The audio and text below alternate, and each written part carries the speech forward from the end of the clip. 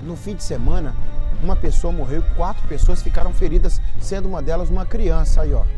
O grave acidente entre uma carreta e um carro aconteceu no Vale do Aço, gente. Ah, vou te contar uma coisa, tá? O Fantônio tava dando orientação ali de fim de ano. É, cada um dá manutenção no carro. A gente que, que vai pegar a rodovia para visitar parentes, né, Lamonia? A gente fica com o coração apertado, né, gente? Olha só. Ah, que tragédia. A Gisele Ferreira tem os detalhes desse acidente aqui. É, onde, é que foi, onde é que foi registrado, hein, Gisele, esse acidente?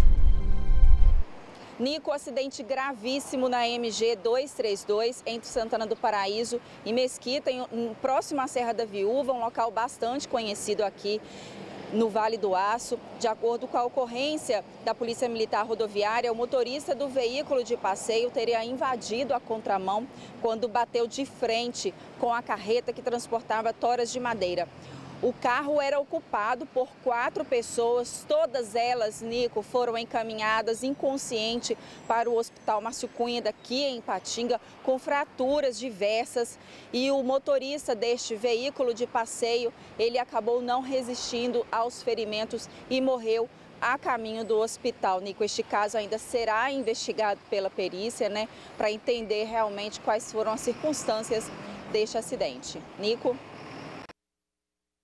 Tristeza, né? Tristeza. O saldo é sempre assim, né?